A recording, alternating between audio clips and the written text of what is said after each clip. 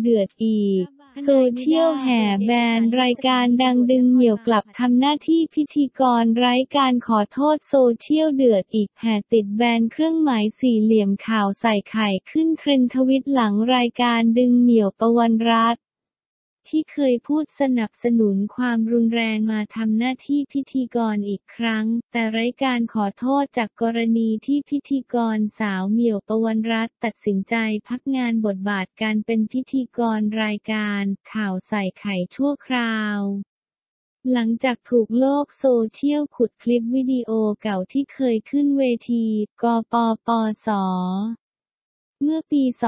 2557 และได้พูดถึงการสนับสนุนให้เกิดความรุนแรง ด้วยการเอาความสูญเสียของคนอื่นมาล้อเล่นและหัวเราะกันอย่างสนุกสนาน จนชาวเน็ตเกิดความไม่พอใจแห่ติดเครื่องหมายสี่เหลี่ยมแบนเหมี่ยวประวันรัตน์ขึ้นเทรนด์อันดับหนึ่ง มาแล้วก่อนหน้านี้ล่าสุดเมื่อคืนวานนี้ 7 ธันวาคม 2563 โซเชียลกลับมาร้อนระอุอีกครั้ง พร้อมติดแฮชแท็กเครื่องหมายสี่เหลี่ยมข่าวใส่ไข่ขึ้นเทรนด์ทวิตเตอร์จนถึงตอนนี้รวมถึงคอมเมนต์เดือดในเพจ Facebook ข่าวใส่ไข่ หลังจากชาวเน็ตเกิดความไม่เห็นด้วยกับรายการข่าวไข่ใส่ที่ให้พิธีกรสาว เหมี่ยวประวันรัตที่เคยพูดถึงความรุนแรง ซึ่งเป็นเรื่องที่คนในสังคมยอมรับไม่ได้ กลับมาทำหน้าที่พิธีกรอีกครั้ง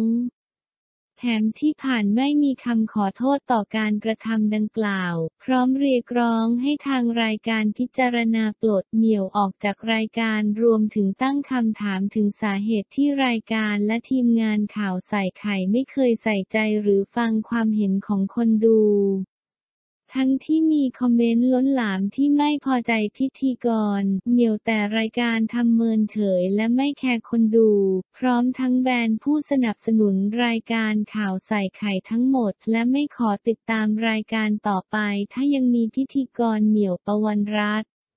ดำเนินรายการอยู่เนื่องจากชาวเน็ตบางส่วนมองว่า เรื่องของมาออนนภาบูลลี่เด็กยังให้อภัยได้ถึงแม้จะไม่พอใจ แต่กลับเหนี่ยวสิ่งที่เขาพูดคือความสะใจหัวเราะสนุกในการเสียชีวิตของคนอื่น